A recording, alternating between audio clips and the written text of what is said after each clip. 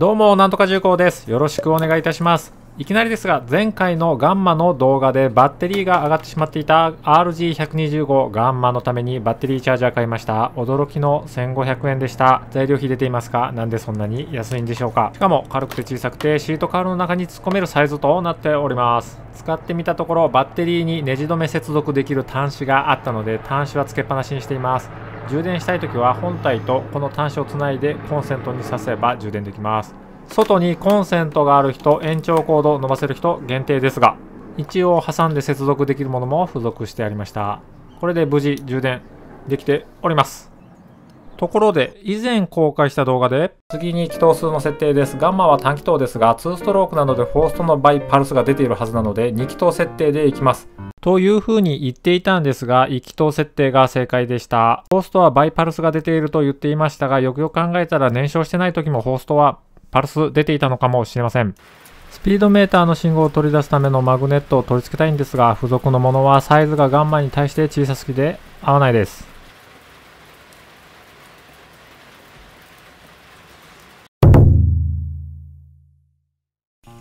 というわけで旋盤でガンマに合わせたマグネットホルダーを製作していきます。旋盤と刃物さえあれば特別難しくない製作です。台形を削って C クリップを入れる溝を作ったら、1工程目は完成です。1mm の溝を切る刃物は手研ぎにて製作しています。またまた岩田ツールの社長にもらったものを研いで使っています。もらった先丸のバイトは多分一生分あります。溝が切れたのでとりあえずクリップをはめてみます。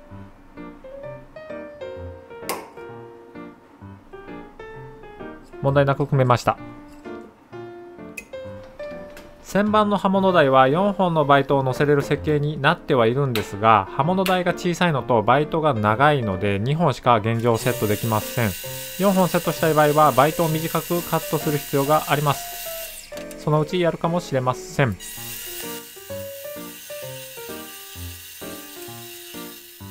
これで1工程目完了です。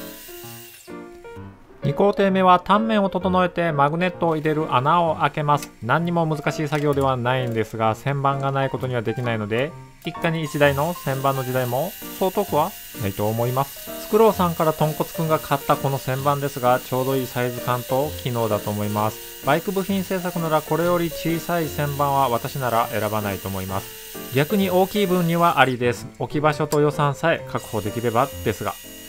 卓上旋盤は予算と重量置き場所の都合で小さいものを選びがちですが正直な話大きさ重さはそのまま性能みたいなものなので大きい方がやっぱいいです小さい方が扱いに難易度が高くなります。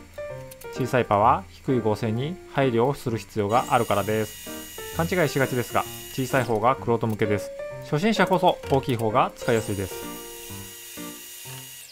ダイソーで買ってきた強力マグネットを使います。本当は軽めに圧入して使いたいんですが、普通に6倍のドリルで開けました。とりあえず動作確認したいので、できる範囲で作ります。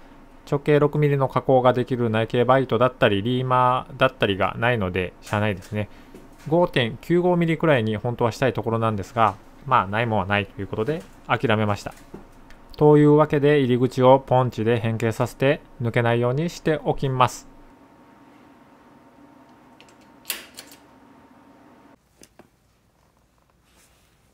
ポンチアートがダサいんですが、一応完成です。これで取り付け問題なかったです。次はセンサーの取り付けステーを作っていきたいと思います。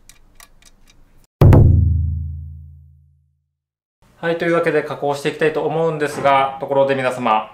こういった六角レンチ、どのように収納されていますでしょうか？私、物草なので、こういう六角レンチ、最初から付いてるホルダ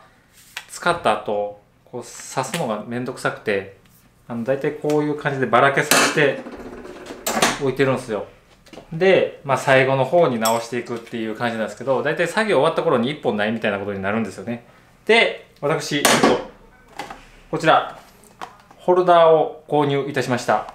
えー、多分メーカーはザ・カット。六角レンチ用マグネットホルダーとなっております。これあのマシニング工時代も使っておりまして非常に便利でした。こんな感じになっております。こんな感じで決まったサイズのところに収納できて、なおかつ、あの、純正のやつと違って圧入じゃないんで、スッと入るんですよね。これが非常に便利。そしてこういったところにマグネットでかなり強力につくんであの作業性がいい。すぐ直せる。ものがなくならない。おすすめです。というわけで作業を進めていきたいと思います。単品で購入いたしました 12mm と 14mm の六角ネッチもここに収納できました最高です簡単なステー製作なので正直気軽なもんです。穴開けていきます。M6 のボルトが通る穴とエンドミルを通す下穴、センサーが入る穴の下穴を6切りでとりあえず開けていきます。ボルトはサラボルトを使う予定なので大きめに面取り入れます。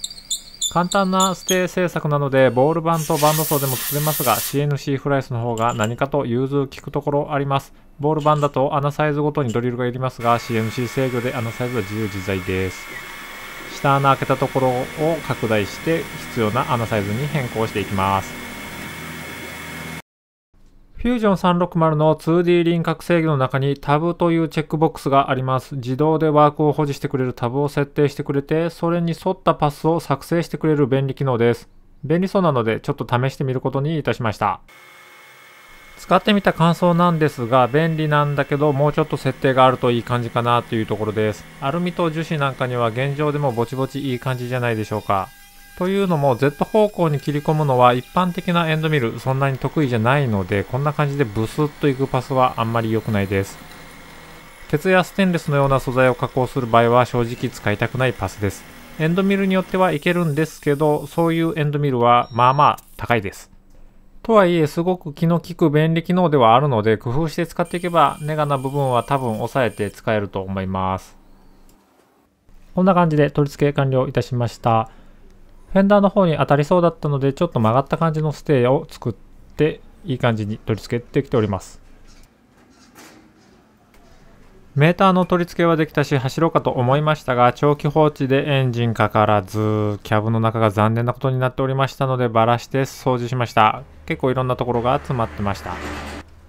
以前の動画でチョークが効かないからお湯をかけてると動画にしましたがチョークの経路も詰まってまして掃除して組んだらチョーク効くようになりまして今年の冬はお湯をかけずにエンジンかかるかもしれません。